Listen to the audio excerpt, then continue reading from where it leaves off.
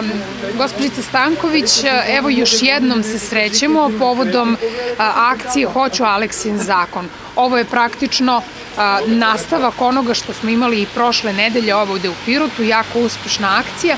Evo recite nam nešto da kažemo i o akciji samoj, čisto da se prisetimo i o ovom današnjem skupu. Današnji skup je planiran kao i prošle nedelje. U 5 do 3 ćemo krenuti sa 5 minuta tišine i obratit ćemo se ja i moji prijatelji. Opet ćemo na kraju pročitati pesmu koja je posvećena Aleksi. A, imamo pozitivne komentare što se tiče ove akcije. Javila nam se porodica Janković koja je podržala ovu akciju i zadovoljna što je i Pirot kao grad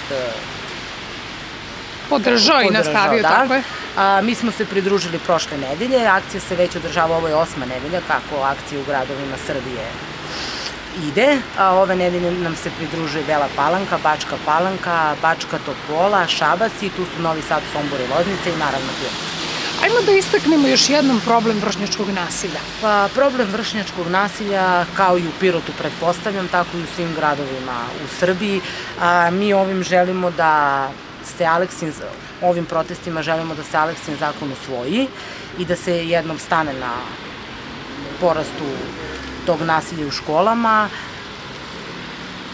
Podaci govore da ga ima. Ima. To je činjenica. Ima. I u Srbiji, sigurno i u našem gradu.